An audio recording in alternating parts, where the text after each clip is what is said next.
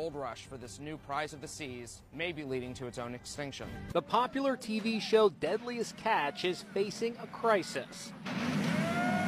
Their crab traps that normally come in loaded with snow crab and king crab are coming up empty this year. When disturbed by bottom trawling, as much as 90% of a coral reef colony perishes and up to two thirds of sponges are damaged.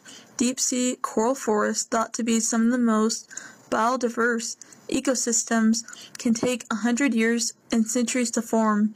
Coral forests, coined the karate of the ocean, act as nurseries, fish nurseries for juvenile fish and other invertebrates, and are often found on seamounts.